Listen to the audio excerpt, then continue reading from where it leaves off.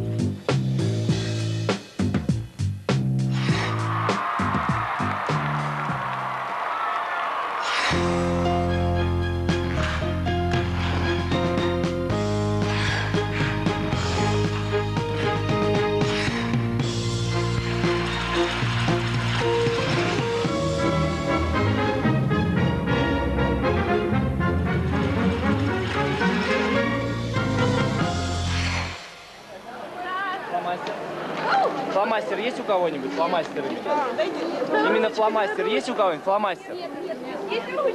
Фломастер есть? Вот я им попользуюсь, потом отдам.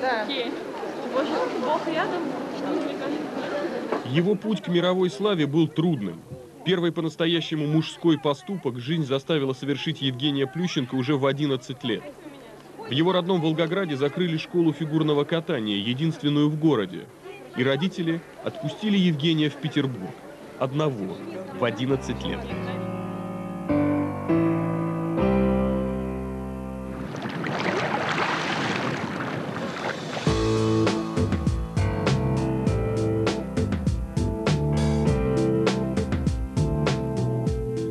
Когда он приехал в Петербург, ни родственников, ни знакомых у него там не было.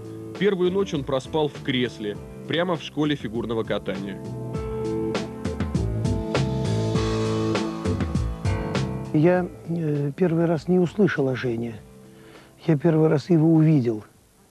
И был такой маленький, тоненький, стройненький червячочек. Ну, что-то в нем было. Что-то в нем было. Вот глаз тренера видел в нем что-то.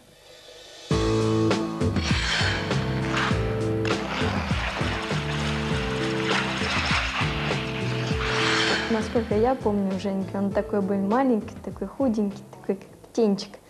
И очень гибкий, этим всем удивлял своей гибкости, как бы до сих пор делает свой бигман, ну, что мальчик для мальчика это удивительно. И как бы в этом все отличались, как бы сразу, о, это Женя Плющенко, которая гнется во все стороны. Вращение Бильмана, о котором говорит Елена Бережная, это визитная карточка Плющенко с самого начала его карьеры.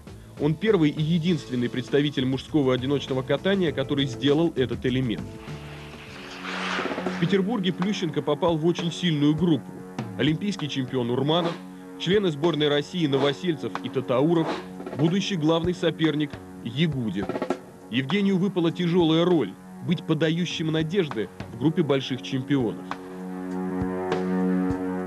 Находясь в таком окружении, мне кажется, что он прошел, во-первых, э, школу высокого спортивного мастерства, но, с другой стороны, он прошел очень тяжелый и сложный путь, когда его эти же чемпионы мира, и они его не воспринимали, они с ним обращались очень сурово, и он прошел не только, не только такую школу э, спортивной жизни, но еще такую, я бы сказал, спортивную дедовщину. Говорить, да?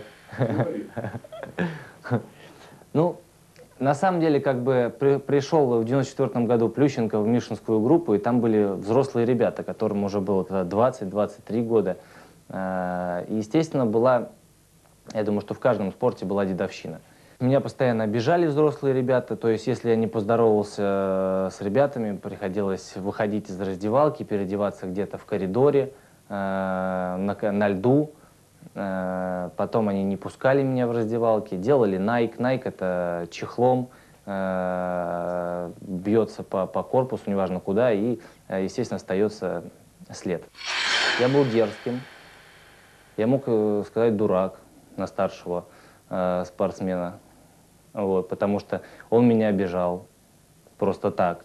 Вот, поэтому прошел многое, но благодаря этому я быстро вырос.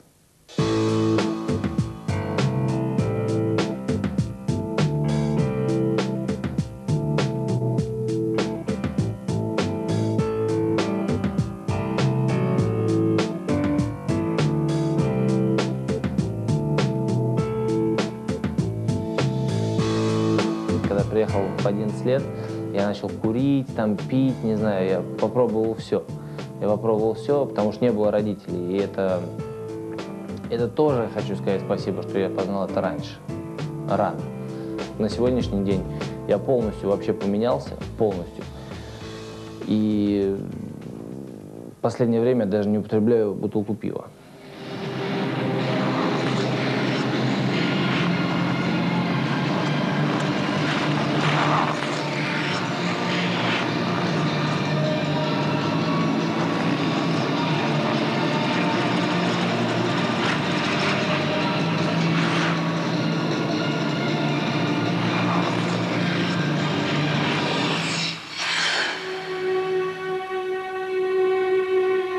Когда приехала мама, мне было 12 лет, и, я сказал, и мама сказала, что вот ты понимаешь, э, очень трудно, сейчас трудная вообще жизнь, и понимаешь, что отец наш работает в Волгограде один, нам не хватает денег, давай поедем в Волгоград. А Вот. Я сказал, да, что я все понимаю, надо уезжать в Волгоград. Ну и звоним, естественно, Мишину. Нам вот уезжать завтра, мы звоним ему. Алексей Николаевич, конечно, был в шоке. Он приехал, вызвал Женю, не зашел в комнату, вызвал Женю и говорит, что ты делаешь, что ты слушаешь маму. Ты должен тренироваться, ты спортсмен. Потом мне сказал, вы зря это делаете, вы губите мальчику жизнь. Я просто маме сказал, вы знаете, мама, вы делаете ошибку. Уезжая в Волгоград, все трудно, очень трудная жизнь, все сложно, но вы делаете ошибку. Она поверила, и, наверное, это было очень существенным, потому что моментом его спортивной биографии, потому что если бы тот момент уехал, мы просто, э, мировое фигурное катание просто бы не, не было знакомо с фамилией Евгений Плющенко.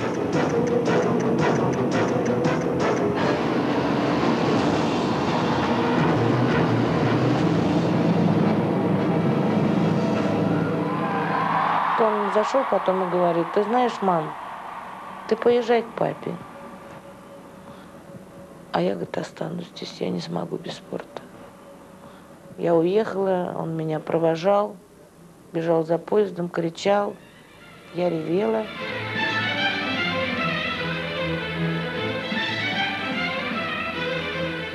Плющенко остался не зря. Через полгода после несостоявшегося отъезда в Волгоград его впервые в жизни приглашают в сборную России. В 14 лет он уже чемпион мира среди юниоров, в 15 – серебряный призер взрослого чемпионата Европы. У Плющенко появляются первые поклонницы, на него начинает обращать внимание пресса.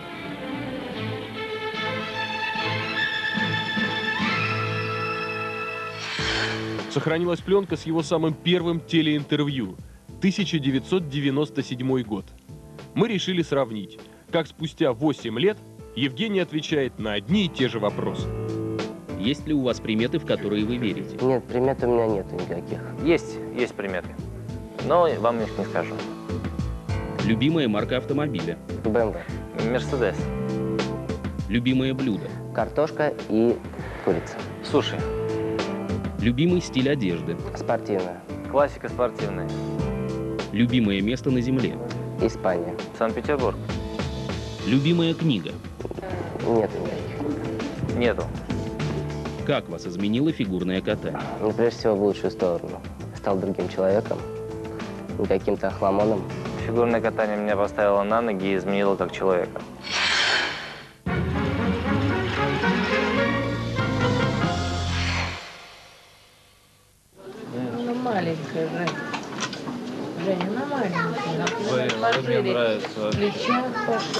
Но я на свитер ее одел. Ну, неважно, плечи короткие. Плечи короткие, да? Да, надо Маленькая, да? чуть-чуть. Ну я на свитер, сейчас я... Сегодня Плющенко может позволить себе покупать то, что он хочет, не особенно задумываясь о ценах. Сегодня. А 10 лет назад все было совсем по-другому.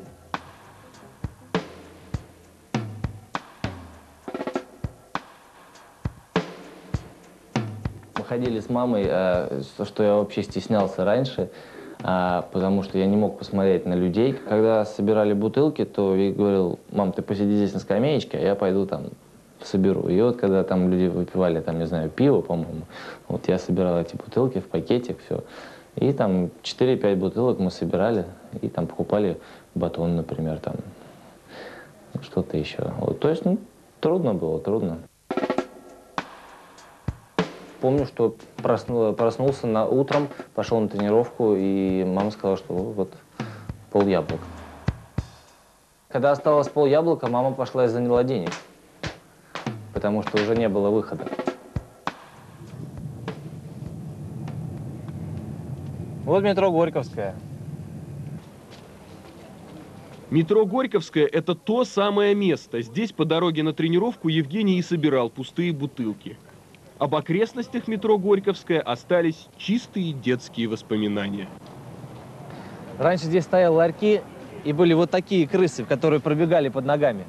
Это было ужасно. Боялся крыс, честно? Безусловно, боялся. Но я не только крыс боялся, я боялся мышей, с которыми мы раньше жили. И когда папа приезжал к нам, он ставил мышеловки, и потом мне приходилось там с утра просыпаться и эту мышеловку брать, э, открывать и выкидывать мышь. Огромное спасибо. Великолепно. Можно поцеловать? Нет, целовать нельзя. А с любовью написать? С любовью вам скажу. Пожалуйста. Мы тебя любим. Хорошо. Спасибо большое. Знаете, у меня сегодня день рождения, у меня мечта обнять. Смотри, пожалуйста. Только не на лице. Не получилось. Женя, подожди, не получилось. Давайте, давайте. Она плохо вышла там. Давай, давай. Помню, однажды мы поехали в лагерь. И мы приехали в Москву на Павелецкий вокзал. На Павелецком вокзале мы купили э, пистолеты. Игрушечные пистолеты с э, пластмассовыми пульками. А было лето, проходили люди по улице, и мы им стреляли в мягкие места. Вот, и однажды даже, э, видимо, больно попали какому-то мужчине, который разозлился, вызвал, вызвал милицию, и двоих моих э, друзей по фигурному катанию забрали в милицию, а Женя Плющенко убежал. Рассказывая о своей ранней спортивной юности, Евгений везет нас еще в одно памятное место. В середине 90-х годов, недалеко от Дворца спорта «Юбилейный», они с мамой снимали маленькую комнату в огромной коммунальной квартире. Сколько ты здесь не был? Лет восемь, наверное, не был. Ничего, ничего не изменилось. Почище не стало? Ну, почище, посветлее стало. А ключи терял когда-нибудь? Да у меня их и не было, на самом деле. Тетя Ань, здравствуйте. Ой, здравствуй, Женечка. Здравствуйте. Здравствуй, Женя. Как ты вырос. Время идет. Евгений заранее договорился с Анной Владиславовной о нашем визите, но она все равно волнуется. Телевидение. Да, Женя. А каким был раньше Женя? Ну каким? Ну он был маленький, худенький мальчик. Ну, посуду всегда за собой мыл. Комнату, в которой Евгений жил с матерью, отдали под общее пользование. Жилкомиссия признала ее непригодной для жилья. Ну что, комната стоит. Что здесь было? Комната стоит. Здесь был диванчик небольшой, посередине раскладушка. Слева был шкаф. Ну, все то же самое, небольшой телевизор. Здесь мы с мамой обитали очень долго. А вот смотрите, вот про что я и говорил. Вот она фанера. И что здесь было? Вот эта фанера ходила шаду, э, ходуном. И там пьянки, гулянки. Соседей, которые 10 лет назад жили за этой стенкой, встретить не удалось. Переехали. С нами еще жили другие э, соседи, которые любили треснуть, дюгнуть. Дюгнуть это вас называлось? Да, это у меня... Вас с мамой не приглашали поучаствовать? Нет, нет, нет, нас, нас не приглашали, потому что мы вообще этого всего боялись. Это было ужасно, конечно, потому что люди дрались, а соседняя комната это была наша, то есть была перегородка, то есть в одной комнате драки были, пьянки, перегородка эта фанерная, и здесь мы жили. И постоянно мы думали, что они пробьют нашу эту фанерную стену, э, завалятся к нам и начнут пить у нас.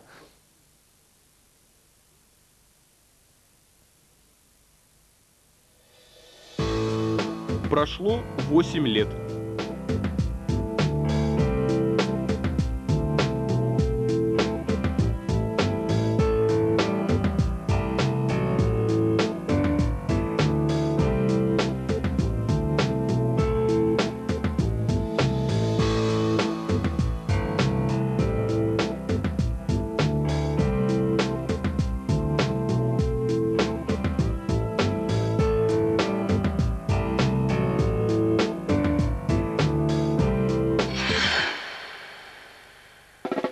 Алексей Мишин и три его звездных ученика Урманов, Ягудин, Плющенко. Знаменитое фото 97 -го года.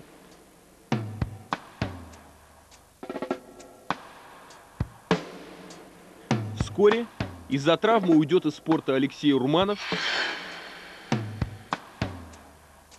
А в 98 году весь мир фигурного катания потрясет известие. После победы на чемпионате мира от Алексея Мишина уходит Ягудин. Я каждый день видел Ягудина и Мишина, и Ягудин его слушал, Мишин к нему прислушивался. Поэтому я вообще не знаю, как так получилось, что так резко раз э, Ягудин ушел. События развиваются стремительно. В январе Ягудин выигрывает чемпионат Европы. В феврале Олимпиада в Нагано. Мишин верит, что Ягудин может попасть в призеры, как минимум. Но Алексей заболевает воспалением легких и в итоге занимает только пятое место. Мишин возвращается из Нагана раздосадованным. Вы знаете, я такой человек, э, которому нужно, чтобы тренер уделял как можно больше внимания. И я, естественно, понимаю Мишина, который не может уделить мне больше внимания, чем, да, допустим, Плющенки или Урманова. И я принял такое решение, что перейти к другому тренеру. Евгений Плющенко и Алексей Ягудин. Даже тренируясь в одной группе, они никогда не были друзьями. Два гениальных фигуриста и два абсолютно разных человека, два противоположных характера. Сама жизнь подтолкнула тренера Алексея Мишина к выбору. Я здесь не виню Лешу. Наверное, он сделал правильно. Почему? Потому что, знаете, можно ли разделить поровну любовь, любовь к двум женам? Ну, такое неадекватное сравнение, может быть. Но, с другой стороны, очень равноценно, очень трудно разделить.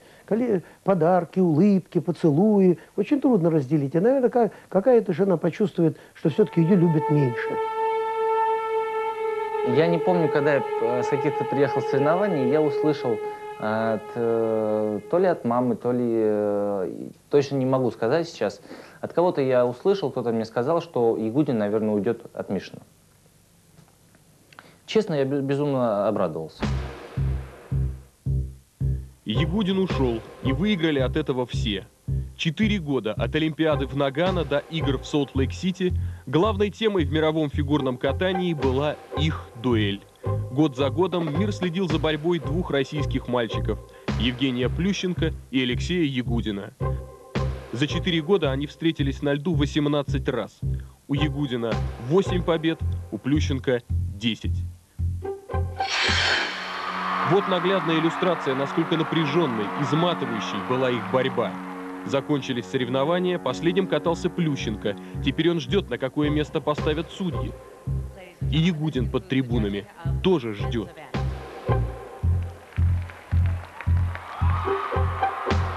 И реакция Алексея Ягудина на первую за полтора года победу. До Олимпиады оставался месяц.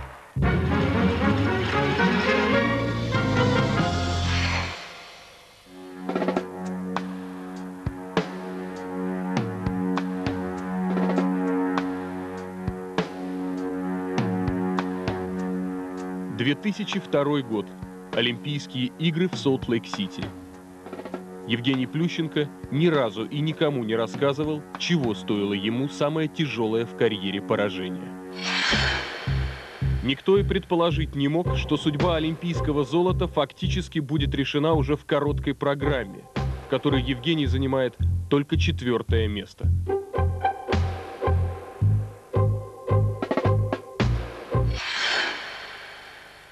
Произошла случайность, э, э, то, что у меня не получилось четверной. Причем грубейшая ошибка, конечно, что я еще упал, не докрутил прыжок. Это, конечно, произошло просто случайно.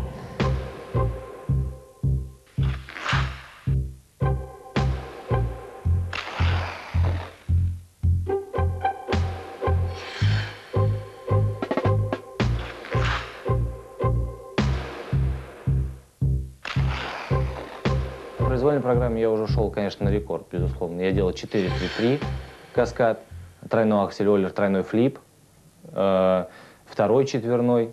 Вот. Я шел, конечно, на рекорд, чтобы биться э, за первое место. Все равно я пытался, пытался бороться, но, естественно, э, при хорошем катании Алексея он, естественно, выиграл.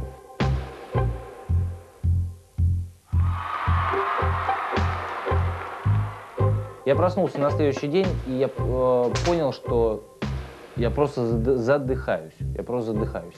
Точнее, не на следующий день э, проснулся, я проснулся ночью. Я не смотрел на время, но это была ночь, и я еле поднялся. Мне ломало все, меня крутило, ломало, знобило. Я чувствовал, что у меня температура, но я не знал, что, что за температура. Я пошел к Аниканову Виктору Ивановичу, это наш доктор. Он жил с Мишиным. Я разбудил их, мне встави- э, поставили градусник. И температура 40.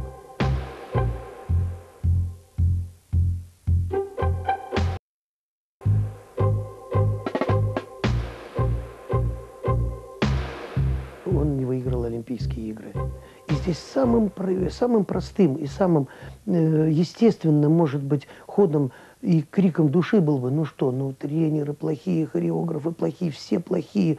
Он не, он не стал э, делить эту неудачу, он не стал э, делить эту тяжесть, он эту тяжесть положил на себя.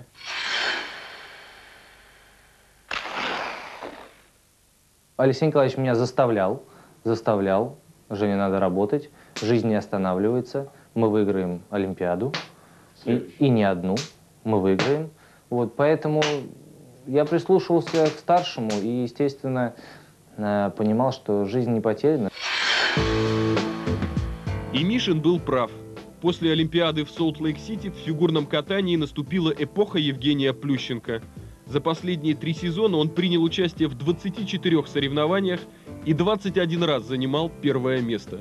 В историю вошли турниры, на которых Евгений получал 16 высших оценок – 6-0. С января 2004 года он не проиграл ни разу никому.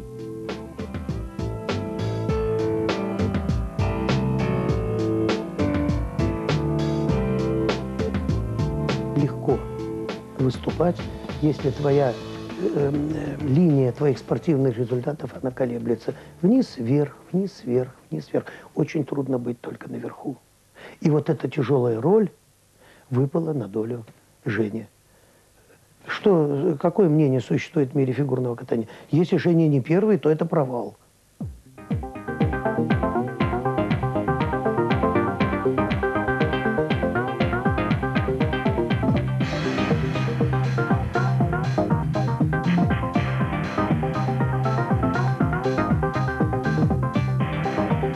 Приехал э, в 11 лет, он заменил мне отца, да? Вырастил меня, воспитал, помог. Я только могу э, говорить э, позитивное про Мишина. Он меня вырастил, он меня воспитал, он меня создал.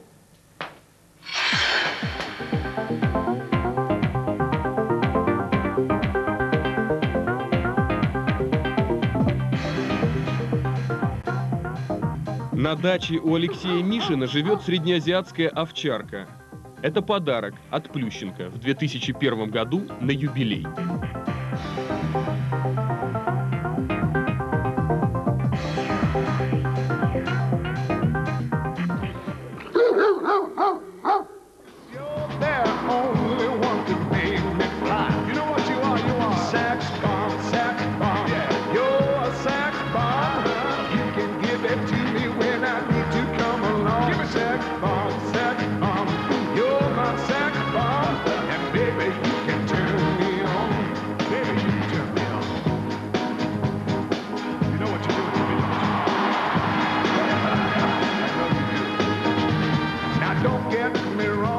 А про девчонок, ну что я могу сказать? Э, огромное спасибо им, вот что я могу сказать. И они меня узнают, они меня любят, меня, они приходят, поддерживают меня, потому что с публикой, с фанатами, с девчонками э, я катаюсь лучше.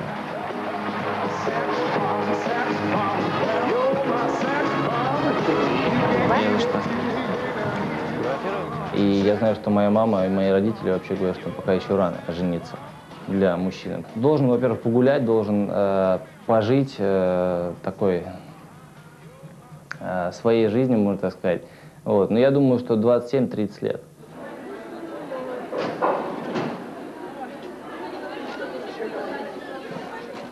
С 2004 года рядом с Плющенко часто видят одну девушку.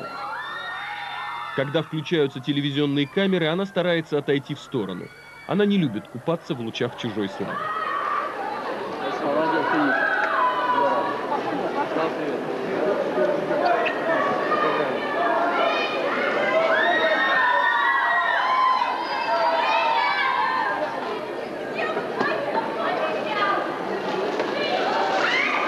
Женя, я тебя люблю, Женя.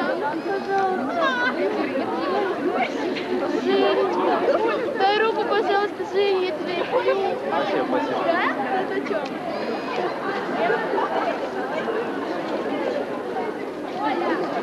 Для меня девушка должна быть э, первое, что она должна понимать, что такое для меня фигурное катание. И, конечно, любила. Не только что Ющенко фигурист, хороший спортсмен, но еще как человек. Ты сталкивался с такими девушками в своей жизни, что вот они любили Плющенко фигуристы и все? Безусловно, сталкивался, конечно. Э, Я думаю, что многие публичные люди, многие известные люди э, сталкиваются с этим.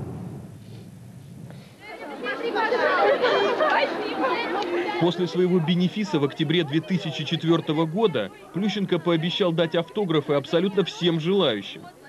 Наша съемочная группа уехала через 25 минут после того, как он вышел к поклонницам. Евгений все еще оставался, обязывает популярность. Раз. Отсюда пошел. Начинаешь, закрываешься, да. И отсюда, Сегодня в мире нет фигуриста, способного выиграть у Плющенко. Только от него одного на любых соревнованиях зависит судьба золотой медали. Только сам Евгений, если ошибется, может пропустить кого-то из соперников вперед. Это тяжелый психологический груз.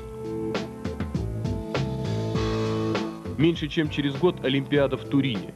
Наверное, самый главный в его жизни турнир. И там будет то же самое. Все будет зависеть только от него одного. От Евгения Плющенко. Для меня жизнь не закончится, если я ее даже не выиграю. Мало ли, всякое бывает. Это спорт, и я понимаю. Я не боюсь Олимпиады. Я подготовлюсь к ней заранее. И буду бороться, как боролся на этой Европе. В произвольной программе, не в короткой. Вот, поэтому буду убивать, буду давить своим катанием, буду подавлять, буду киллером на льду. Только что еще? Не сразу поднимай руки наверх. Значит, начни их здесь, отсюда. Вот так, соедини руки. А потом только поднимай, чтобы было видно лицо и тогда. Тогда, а так ты немножко высоко, короткий путь, а здесь начинаешь длинный этот путь, да. Вот. Все, закончили на сегодня.